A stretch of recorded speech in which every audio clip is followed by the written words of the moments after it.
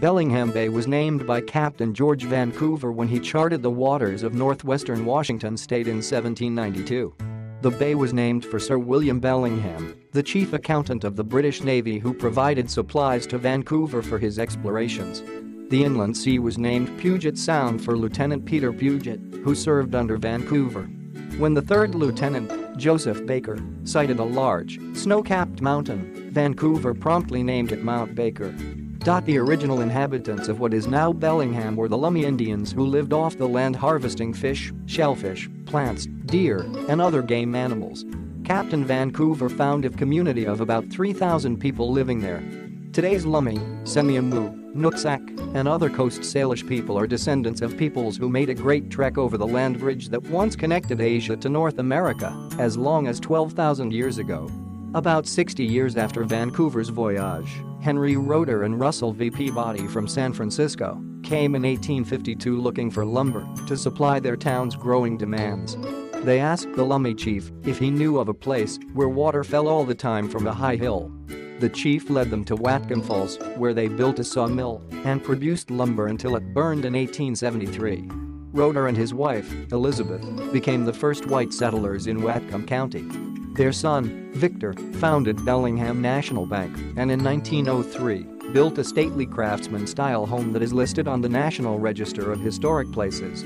It was donated to the county in 1971 for use as a cultural and social center. Whatcom Falls. In 1856, Captain Georgie Pickett was sent to the area with a company of infantry to protect settlers from the Haida Indians. He built Fort Bellingham, the town's first bridge, and a wood frame home for himself and his Indian wife. In 1859, Pickett stood fast against the British who were claiming the San Juan Islands during the Pig War boundary dispute with the United States.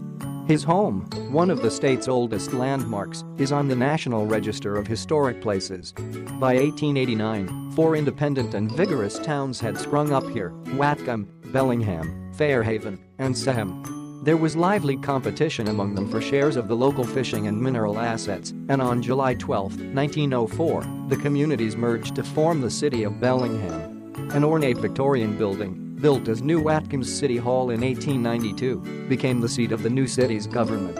Since 1941, it has been home to the Whatcom Museum of History and Art.